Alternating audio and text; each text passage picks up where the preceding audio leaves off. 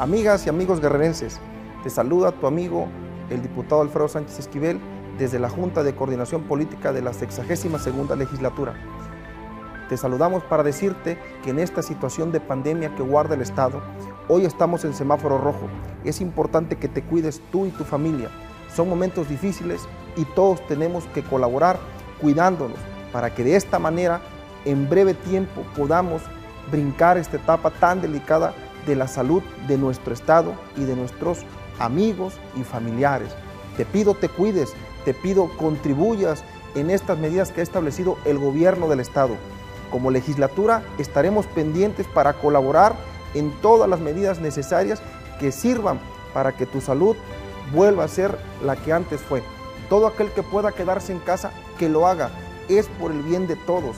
A todas aquellas personas que han perdido un familiar, para ustedes mis condolencias y todo el respeto por el Congreso. Estamos en semáforo rojo y todos tenemos que ayudar. CN6 Noticias de lunes a viernes, 8 de la noche.